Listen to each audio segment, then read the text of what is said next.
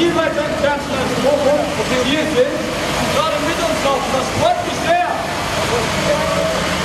Wir wissen alle, was die Probleme sind. Wir wissen alle über Champions, über die Fettbescheid. All das, das wissen wir doch schon. Aber was können wir dagegen tun? Die Regierung verarscht uns. Die verhandelt uns wie Kriegsgefangene. Entführte, die sich mit ihren Entführern identifizieren, die beleidigt man mit dem Münchhausen-Syndrom. Steht Deutschland unter dem Münchhausen-Syndrom? Genau. Die Menschen sind frei. Und damit das weiterhin so ist, müssen die Menschen in Europa und auf der Welt aufstehen und ihr Leben wieder in ihre eigene Hand nehmen.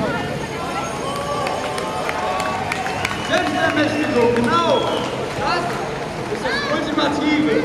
Uns wird erzählt, Hi. Grüß dich. Na? Hi.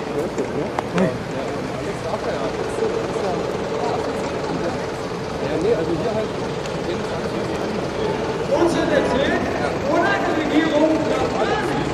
Ich sage euch, mit dieser Regierung klappt noch weniger als gar nicht.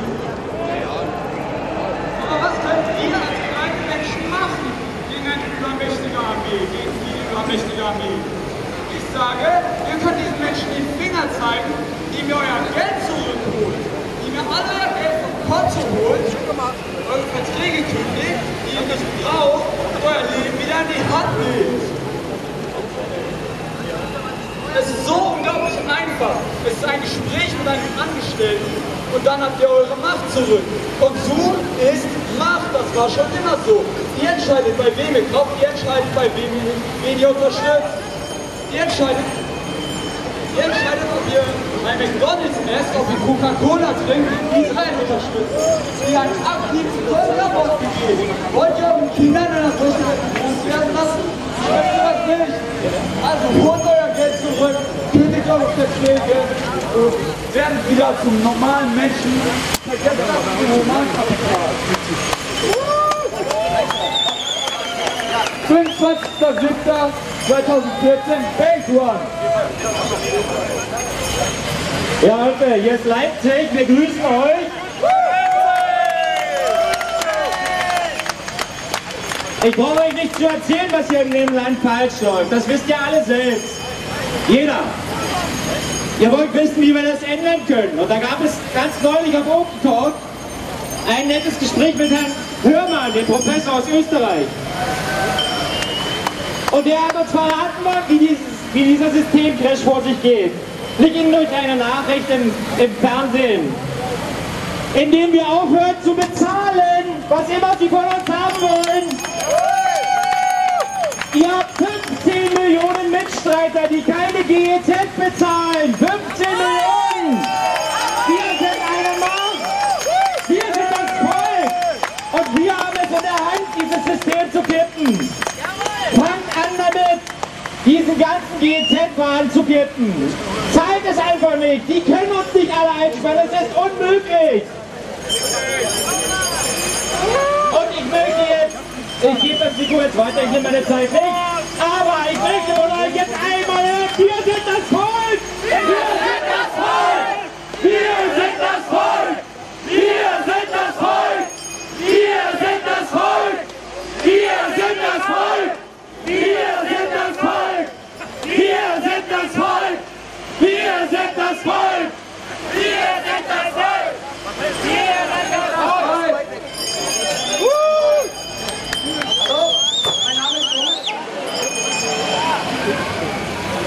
Leute, wir brauchen jemanden, der die Feuerwehr fahren kann. Kai kann nicht mehr mit der Kupplung. Könnt ihr mal rübergehen? Alles klar, danke. So, hallo, mein Name ist Dominik. Ich bin der Onkel von äh, lieben äh, Rico. äh, mein Onkel ist der Rico Ander, ein Nette, der Kino-Szene. Hier vielleicht, also, wie ihr vielleicht erkennen könnt an meinen, an meinen Haaren, an meiner Einstellung, ich bin ein Antifa.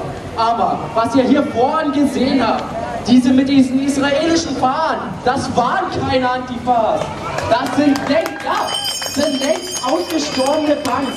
Also keine echten mehr. Ich bin der Typ, der sagt, ich bin für Frieden, gegen Rassismus und gegen Narzissmus. Der Krieg trägt mich nicht.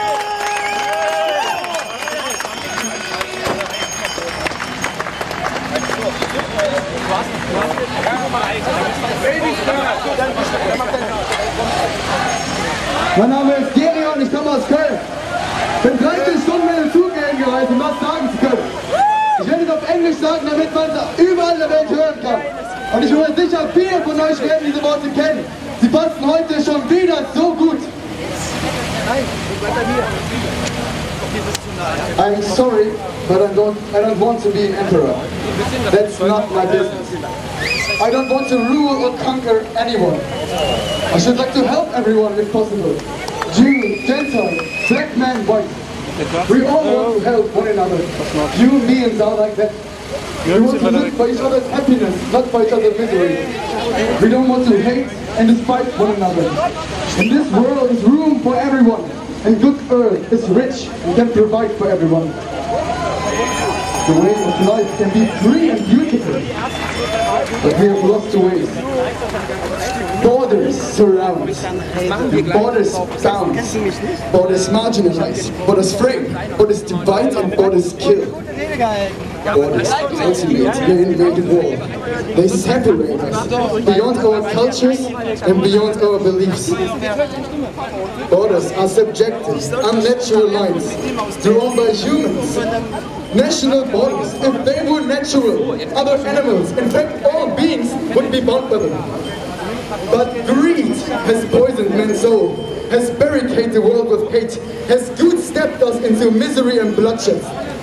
We have developed speed, but we have shut ourselves in. Machinery that give us abundance have left us in want.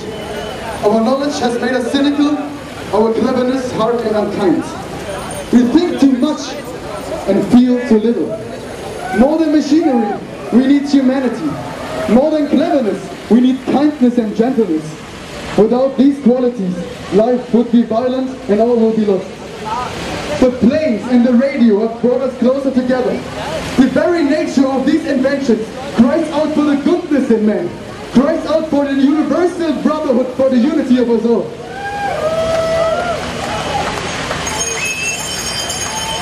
But worst of all, the national borders are deceptive, yet constant reinforcement of the notion that we are alone, separated from each other and all things around us. The multi-layered borders of our very own life stratify separation in its undignified multiple definitions. Even now, my voice could reach millions throughout the world. Millions of despairing men, women and little children. Victims of a system that makes men torture and imprison innocent people. There are people dying in Kashmir due to border disputes. Shots are fired nearly daily between North and South Korea. The Berlin Wall right here separated the German people for half a century. Israel and Palestine continue to endure conflict over the borders. And in modern day Ukraine we see global players making the economical warfare in other, other countries. To those who can hear me I say, do not despair. The misery that is upon us is but the passing of greed. The bitterness of man who fear the way of human progress. The hate of man will pass and dictators die. And the power they took from the people will return to the people.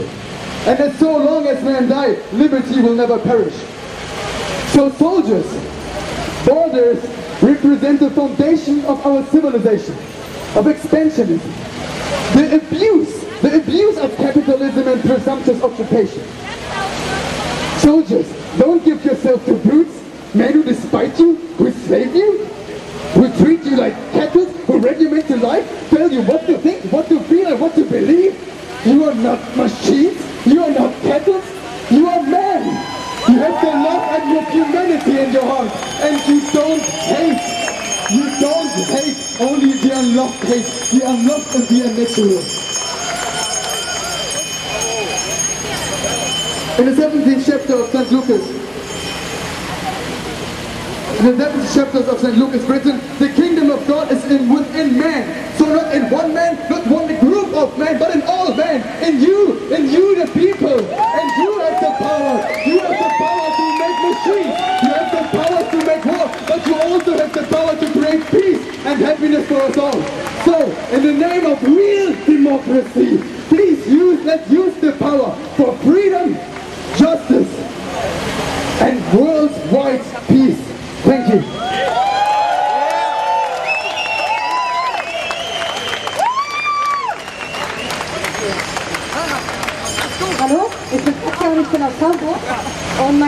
Konsum. Zu keiner Zeit auf der Erde, seit der aufgezeichneten Menschheitsgeschichte, hat es keinen Frieden gegeben. Es gab Aufstände, Proteste und Umstürze, doch kein Frieden. Das Volk wurde immer unterdrückt und es gab immer Krieg. Alles, was es hervorgebracht hat, waren Pseudorevolutionen. Politiker geben nie ihren Plan auf. Alles, was sie tun, ist einen Gang runterfahren. Und das kommt uns schon wie eine Pseudorevolution rüber. Äh, wir, nein, natürlich wie eine echte Revolution, aber es ist alles Pseudo. Es gab viel Frieden. Es ist sehr wichtig, dass wir hier alle treffen und ein Zeichen setzen. Die Straßenpräsenz ist sehr wichtig, aber das reicht nicht.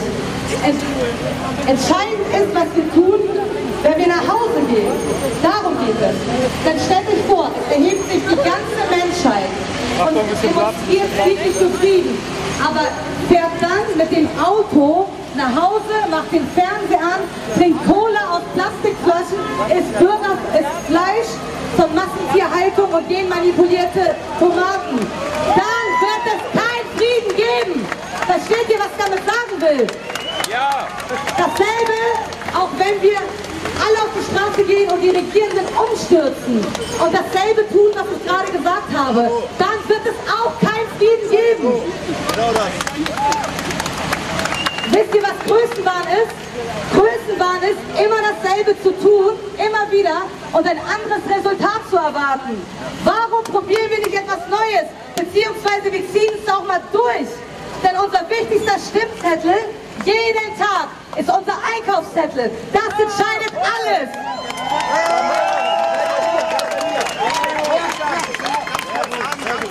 Warum ist das so?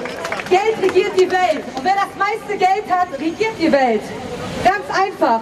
80 Prozent des Geldes und der Güter gehören einigen wenigen Tausenden. Diese Großkonzerne sind in deren Hand. Also, wenn ihr Produkte von Großkonzernen kauft, dann, dann gebt ihr ja den Personen Geld, die Krieg fördern. Also, unterstützt ihr damit indirekt den Krieg. Lasst es nach. Die größten Geschäfte der Welt sind Waffen, Öl und Pharma. Es ist ja wohl klar, dass ein Kampf gegen unsere Gesundheit läuft. Die Giftstoffe, die wir zu uns nehmen, das sind so viele, da würde gar nicht ein Tag reichen, das aufzuzählen. Und die Umgebung, in der wir leben, das macht uns alle lethargisch, im Geiste und körperlich faul.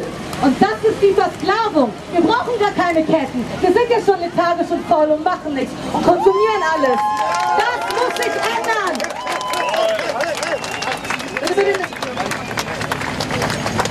Ähm, aufgrund, das Grundwasser ist verseucht. Das sollte jedem bewusst sein. Aufgrund dessen alleine hat man nur die Wahl eines sehr giftigen Lebensstils oder eines weniger giftigen Lebensstils. Unser Konsum macht uns krank, wir zerstören die Umwelt und es wird auch Unterdrückung gefördert. Aber wo bleibt der Friede in uns selbst? Der fängt doch bei uns an. Wie friedlich können wir mit uns selber sein, wenn wir unserem Körper andauernd Ramsch zuführen, Scheiße fressen, Scheiße gucken, einfach ungesund mit uns selber sind, auch mit dem Geist. Das funktioniert so nicht. Der Friede muss bei uns anfangen. Wenn du am Ende dessen stehst, was du wissen solltest, stehst du am Anfang dessen, was du tun solltest. Also wenn ihr die Missstände erkannt habt, dass ihr vergiftet, verblödet und unterdrückt werdet, dann tut was dagegen. Macht den Fernseher aus, ernährt euch gesund, geht raus, macht Sport, meditiert, findet die Liebe im eigenen Herzen. Ich würde mich, ich würde mich, so, ich würde mich so freuen, wenn ihr mit mir einen Schaut macht. Ich sag, was willst du tun? Und ihr alle sagt, stopp den Konsum. Was willst du tun? Stopp den Konsum! Was willst du tun? Stopp den Konsum! Die Industrie und der Scheinluxus, in dem wir hier leben, Das funktioniert nicht. Der Preis ist zu hoch, den wir zahlen. Darum ist mein persönliches Motto, back to the roots, zurück zur Natur. Erstmal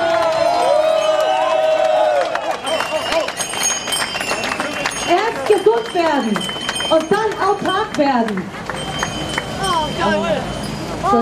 Erst gesund werden, dann autark werden. Denn was wollen Sie machen, wenn wir unser eigenes Obst und Gemüse anbauen, unseren eigenen Brunnen haben? Ökodörfer gibt es schon, es muss mehr geben. Ich bin auch gleich fertig, möchte noch was zum Thema Erwachtsein sagen.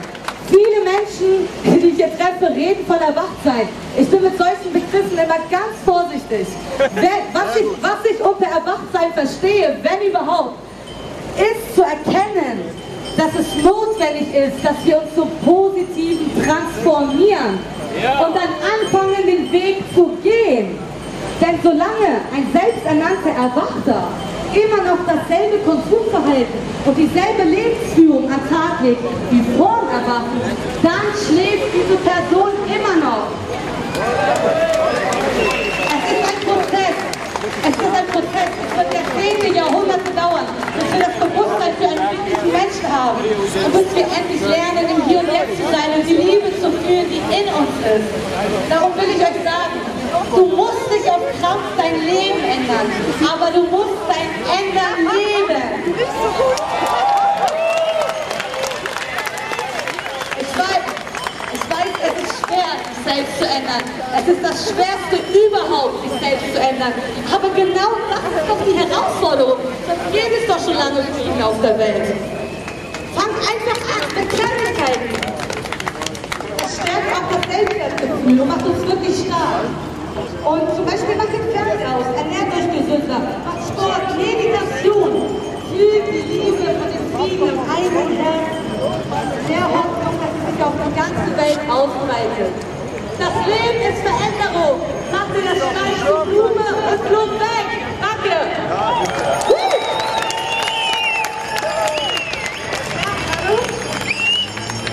Ich lebe in einer gleichzeitig Kriegsflüge und ich habe mich verändert, indem ich mich für Menschen interessierte, die sich um mich herum bewegen. Ich war im Kosovo und habe vor 14 Jahren an Joschka Fischer geschrieben. Im Kosovo haben die NATO auch Albaner getötet und die Aggression hat am 24. März 1999 begonnen. Ich habe das Thema Srebrenica auf Flyers verteilt und ich möchte jedem mitgeben, das Erste, was ich hierzu sagen möchte, lasst euch nicht gegenseitig aufhetzen. Ob Muslime, ob Serben, ob Kroaten, ob Christen, ob Atheisten, wir werden gegeneinander ausgespielt. Das System ist einfach. Die Medien, ist, die Medien sind die erste die, die erste Staffel, die dafür sorgen, es werden Geheimdienste äh, werben gewaltbereite radikale Gruppen an, egal ob sie Faschisten sind oder Radikal-Islamisten, äh, sie werden benutzt für, für äh, Feindschaft und Hass in der, in der Bevölkerung äh, zu sorgen. Jugoslawien war ein Fel- Feldversuch, das war ein multikulturelles ein multikulturelles Land, das in Frieden lebte und als die NATO und als die äh, EU und Amerika dort sich einmischte, hat der Krieg begonnen und es findet immer noch statt. Danke. Hallo allerseits. Ganz kurz, 30 Sekunden. Cerebellum hier, Kidsmore hier. Wir sehen uns gleich auf der Bühne. Schön, dass ihr alle von überall her angereist seid, trotz der großen Temperaturen. Wir machen hier eine große Friedensparty, die trotzdem ernst, aber auch ein bisschen Spaß machen soll. Und jetzt will ich mal testen, ob ihr gut drauf seid. Wir singen nachher zusammen. Wollt ihr uns verarschen, dass das die Leute hören, die uns verarschen? Jetzt machen wir mal zusammen. Wollt ihr uns verarschen? Und alle. Wollt ihr uns verarschen?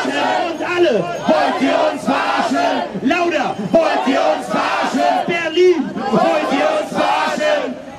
Wollt ihr uns verarschen? Das machen wir später. Tschüss, schönen Tag noch. So. Hi Leute, ich bin Koray aus Köln. Ähm, ich habe schon gerade meinen Kumpel Geban gehört, fand ich cool. Äh, ansonsten das, was Katja gesagt hat, bravo. Das ist eigentlich eine perfekte Überleitung zu dem, was ich sagen möchte. Und zwar folgende Sache.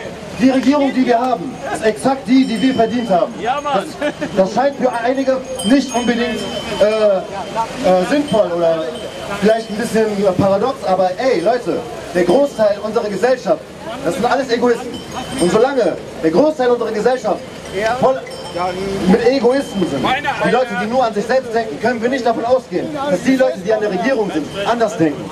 Das ist nämlich exakt so. Deswegen, alles ist ein Spiegel. Solange unsere Gesellschaft sich spiegelt als eine egoistische Gesellschaft, können wir nicht davon ausgehen, dass sich oben bei der Politik oder sonst irgendwo etwas verändert. Deswegen sage ich euch, die Pyramide kann nicht von oben verändert werden. Und ihr könnt auch nicht erwarten, dass ihr mit, äh, mit äh, Protestaktionen irgendwie die Politik stark verändern könnt, solange hier nicht wirklich richtig viele Millionen hier sind, also wirklich ein paar Millionen.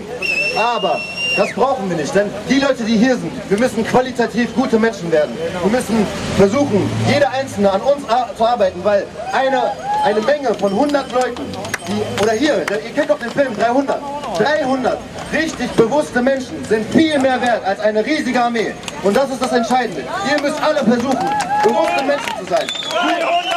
Friedlich zu leben.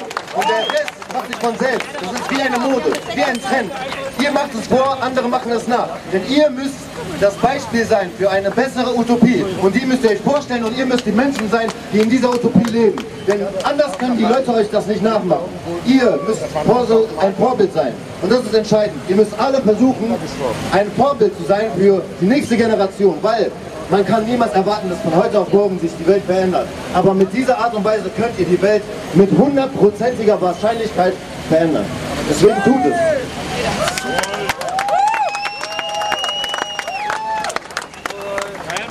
Hallo Leute, ich bin Frankie Alpine aus Bremen.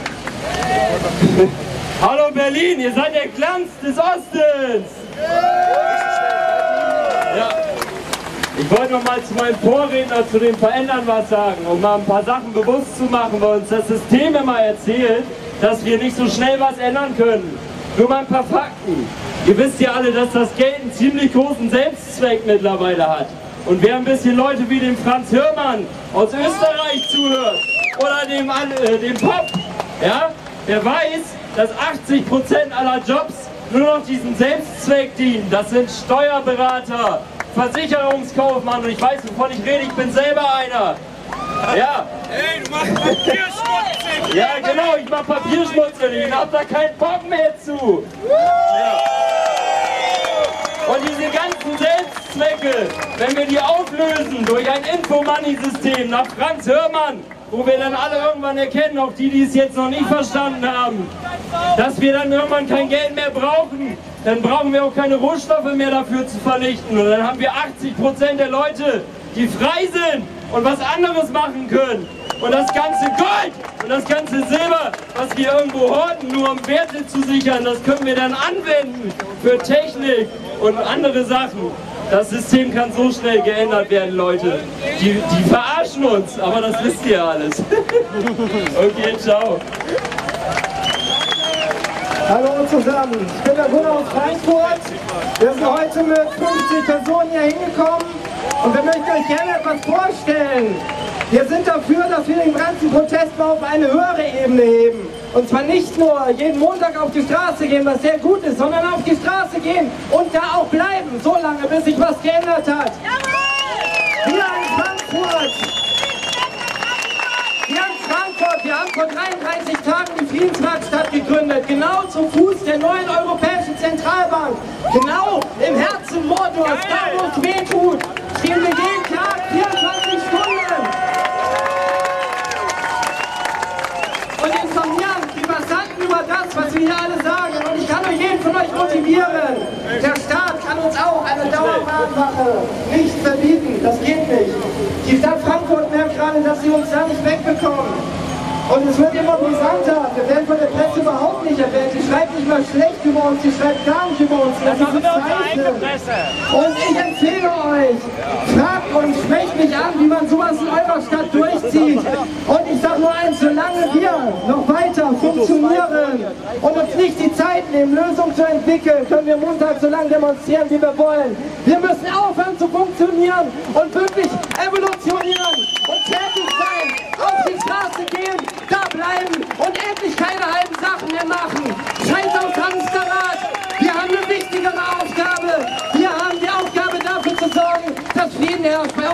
Schaffen das die anderen Menschen nicht ganz alleine. Vor allem die oben nicht. Und deswegen empfehle ich euch alle, geht auf die Straße und bleibt da. Danke aus Frankfurt.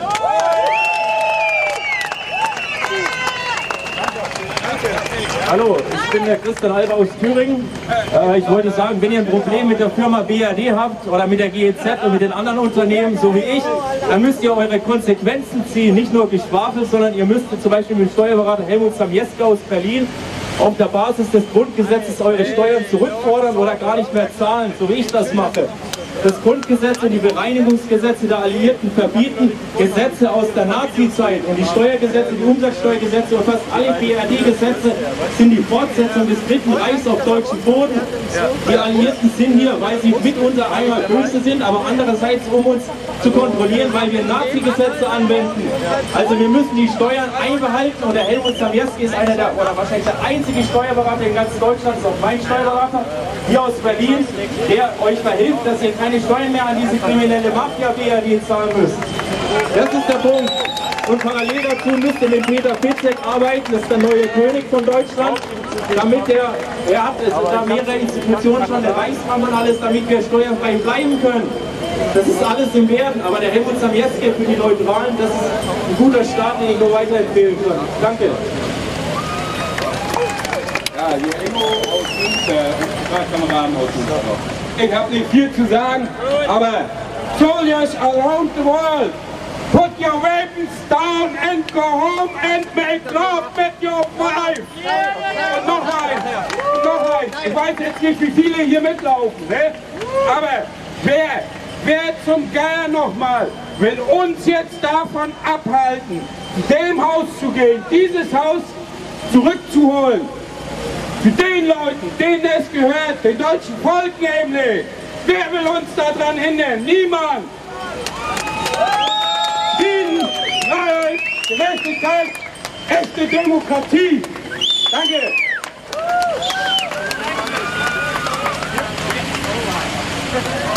Hallo, liebe Demonstranten. Mein Name ist Ulrich Sommer aus München. Wir sind eine Friedensdemonstration, es wurde schon vielfach gesagt. Wir sollten uns nicht auseinander dividieren lassen. Ich möchte zwei Themen ansprechen. Das eine ist die Staatlichkeit. Es wird jetzt im Umfeld des offenkundigen Betrugs an der gesamten Weltbevölkerung vielfach gefordert, den Staat zusammenbrechen zu lassen. Wir sollten aufpassen mit dieser Forderung. Wir teilen sie mit ultrakonservativen bzw. libertären Kreisen.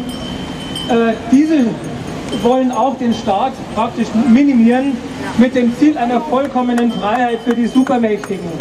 Dessen sollten wir uns immer bewusst sein, wenn wir Anarchie fordern. Anarchie kann maximale Freiheit für jeden bedeuten. Auflösung des Staates bedeutet in der Gegenwart eine größte Gefahr. Ähm, deshalb äh, sollten wir uns momentan nicht allzu viel Umsturzgedanken treiben, sondern wir sollten uns überlegen, wer sind die Freunde in diesem Land. Und damit komme ich nochmal zu dem Spruch, wir sollten uns nicht auseinander dividieren lassen. Wir müssen feststellen, es wird weltweit ein Krieg geführt und es ist ein Krieg gegen die Menschheit. Es steht die Frage im Raum, wer sind die Gewinner? Und wer genau hinschaut, stellt fest, es gibt sehr, sehr wenige Gewinner. Ich rege an dieser Stelle die Idee einer Vertikalfront an. Wir stellen fest, dass selbst im Mittelstand, selbst im Unternehmertum nicht die Gewinner sitzen, vor allem nicht die Leute, die diesen Krieg initiieren. Wir werden feststellen, dass wenn wir uns nicht auseinander dividieren lassen, und damit spreche ich von dem gesamten Volk, wir werden sehr viele Verbündete finden in der Industrie, in der Politik. Es gibt viele Politiker, die sind verzweifelt in ihrer Position, weil sie gezwungen werden, etwas zu tun, was sie nicht wollen. Wir merken es an einigen Pensionären, wie zum Beispiel den ehemaligen verteidigungspolitischen Sprecher Willy Wimmer von der CDU-CSU, der zum, zurzeit zu einem der größten Fürsprecher des Friedens wird. Wir sollten diesen Schulterschluss suchen, wir sollten die Kommunikation mit dem gesamten Volk suchen.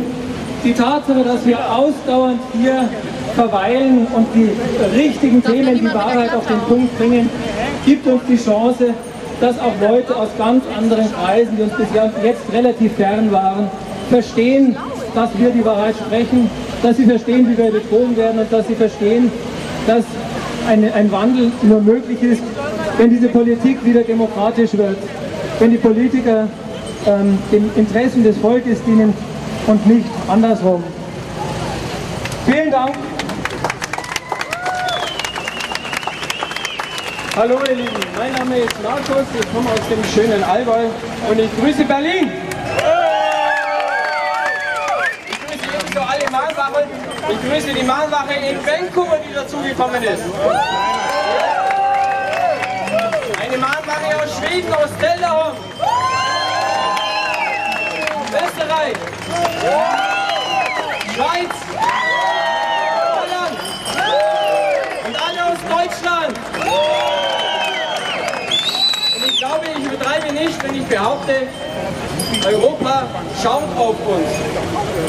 Ich glaube, dass die europäischen Völker sich Gutes daran täten, ebenfalls montags auf die Straße zu gehen, im Einklang mit uns. Denn wir sind das Volk. mindestens zu drohen. Alle, wir sind das Volk. Wir sind das Volk. Wir sind der Staat. Wir sind der Staat. Und wir sind der Souverän. Wir sind der Souverän. Wenn wir uns überlegen, wie es in einer Firma abgeht, wenn ein Angestellter, und damit meine ich doch unsere Reichskanzlei, wenn wir, wenn wir davon ausgehen, dass ein Angestellter uns beklaut, was machen wir mit ihm? Wir schmeißen ihn raus. Was machen wir, wenn wir feststellen, dass ein Angestellter uns belügt? Wir konfrontieren ihn damit. Ich glaube auch nicht, dass sie noch länger über uns wegsehen können. Und ich hätte gern, dass all die aktuellen Politikveranstalter, dass die Achselnetz bekommen heute. Scheißausbrüche. Denn hier steht das Volk.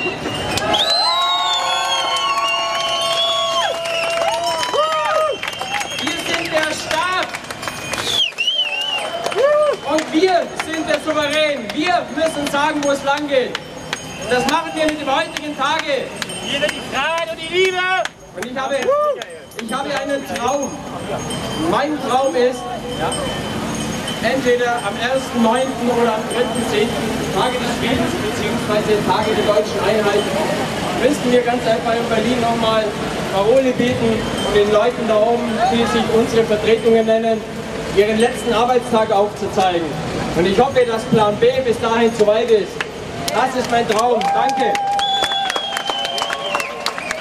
Service und ich glaube nicht, dass das einen Unterschied macht. Voll die Comic-Stimme, Mann. So, So. Okay. Ich denke also, wir können uns leisten, das Ding einfach Beitragsservice zu nennen. Es ist zwar kein Service und es ist auch nicht wirklich ein Beitrag, vor allem kein Beitrag für eine gute Sache. Aber wenn das nun mal der Name ist, dann nennen wir das Ding eben so. Ich habe vor einem halben Jahr den ersten Brief vom Beitragsservice bekommen und da wurde ich darauf aufmerksam gemacht, in was für einer tollen Welt ich lebe. Mit, jeder, mit jedem Smartphone, mit jedem iPad, mit jedem Gerät können wir ins Internet gehen und wir können mit diesen Geräten auch super diese ganzen öffentlich-rechtlichen Programme empfangen. Und deswegen sollen wir auch alle dafür bezahlen. Quasi ein Beitrag für irgendeine gute Sache. Jetzt ist aber das Problem, dass wir einfach nur ins Internet gehen wollen. Wir wollen viele, viele Vernetzungen haben. Wir wollen ganz, ganz viele Menschen vernetzen und wir wollen die Infos, die die Menschen aus allen Teilen der Welt ins Internet stellen, auch haben. Wir wollen die empfangen und wir wollen vielleicht selber Infos senden. Und dieser Beitragsservice ist eine, oder die öffentlich-rechtlichen Programme sind eine von ganz vielen Informationsquellen, die uns äh, informieren möchten. Und an dieser Stelle denke ich einfach, warum sollen wir für diese eine Sache bezahlen und warum sind wir verpflichtet, für diese eine Sache zu bezahlen, wenn es so viele unterschiedliche Sachen gibt? Das heißt ja, der, die öffentlich-rechtlichen Programme sind wichtig. Und ursprünglich war das ja vielleicht auch so, denn es gab damals noch nicht allzu viele Informationen. Es gab noch überhaupt kein Internet und selbstverständlich haben wir irgendwie Programme gebraucht, die uns alle informieren können. Aber inzwischen ist das absolut nicht mehr zeitgemäß.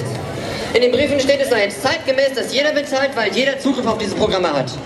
Aber wenn Programme ihre Infos nicht kostenlos zur Verfügung stellen wollen im Internet, dann sollen sie das einfach auch nicht machen.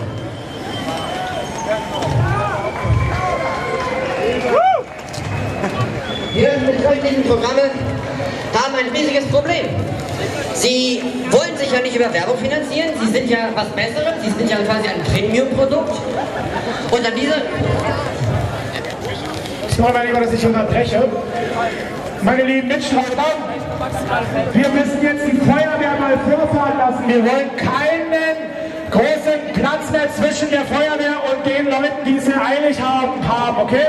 Also bitte lasst die Feuerwehr vorfahren und wir schließen uns dem Tempel der Feuerwehr an. Dankeschön.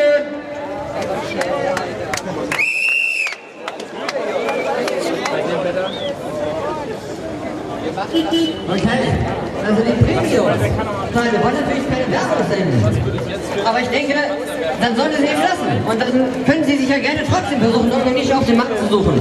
Aber es ist absolut nicht verhältnismäßig, dass wir dazu verpflichtet sein sollen. Wir müssen Strom und Wasser für unsere Wohnung bezahlen, aber wir können theoretisch das Geld nicht bezahlen, dann wird der Strom abgedreht. Bei dem Fernsehen ist das überhaupt nicht der Fall.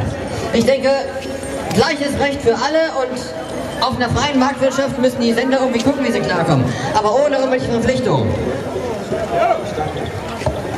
Moin Menschheit, Aloha.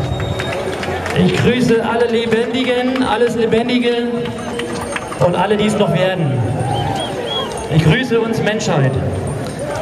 Ich grüße den Planeten, aus dem ich meinen Körper machen durfte, um eine Erfahrung machen. Ich sehe, wie es ist, Mensch zu sein in einem Zyklus, in, einem bestimmten in einer bestimmten Lehre, in einem äh, Spielregeln. Und diese Spielregeln wurden zum Beispiel gestrichen, 500 nach Christi, was man uns sagte, nach Christi, die, die Inkarnationslehre. Und jetzt wird damit gespielt, mit dem fehlenden Wissen, was uns angeht, uns Menschheit, wie die Sachen funktionieren, wie wir Seelen denn wie wir wählen, denn welche Regeln wir zu befolgen haben und dass wir wirklich Verantwortung äh, tragen, jeden Augenblick über das, was wir erfahren und was wir tun. Es gibt keine Schuld, Schuld ist das Programm wie das Ego, es gibt Tatsachen und Täter.